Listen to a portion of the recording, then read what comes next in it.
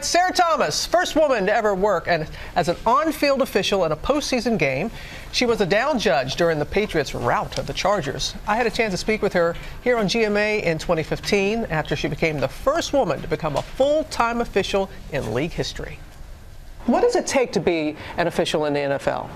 Uh, extreme focus, uh, be very driven and dedicated to your job, and um, training. She is the real deal and a real trailblazer. She was the first woman to officiate a major college football game as well as a bowl game. She is a native of Mississippi, so I'm sure she's a Saints fan. she's a boss.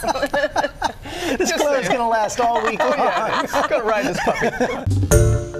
Hi, everyone. George Stephanopoulos here. Thanks for checking out the ABC News YouTube channel. If you'd like to get more videos, show highlights, and watch live event coverage, click on the right over here to subscribe to our channel. And don't forget to download the ABC News app for breaking news alerts. Thanks for watching.